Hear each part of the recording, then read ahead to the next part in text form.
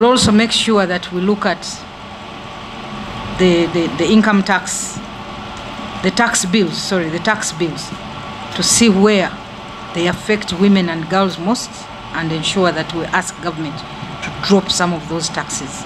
Well, today here at Parliament, we were addressing some of the issues, and one of them were the menstrual health. Menstrual health, well, as we all know, girls and women menstruate every month, and that is a normal thing. We should, it's something that we cannot escape from. Well, we were talking, uh, we were telling the Parliament, and it was our prayer that if it is possible, they extend um, these pads uh, to every girl as they do extend condoms to every station. And another thing, I actually pray that the government should help us kill the young girls, provide us with the necessities that we need to skill these girls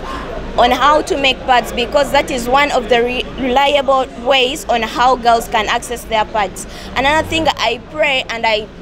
plead with the Ministry of Education and Ministry of Health to please encourage each and every school to construct incinerators so as to provide a good environment for the girls in school. And basically, as the She Leads, we look at asking the government to make sure that it continues to include the issues and perspectives of, of girls and young women in all decision making processes because we believe the issues and the recommendations that girls and young women also bring on board are very key and important in issues of national development. For example, when it comes to issues of the budget, when it comes to issues in health sector, issues in education, we believe girls and young women's perspectives are very key if they are listened to and if girls are given platforms where they can be able to share those issues and recommendations.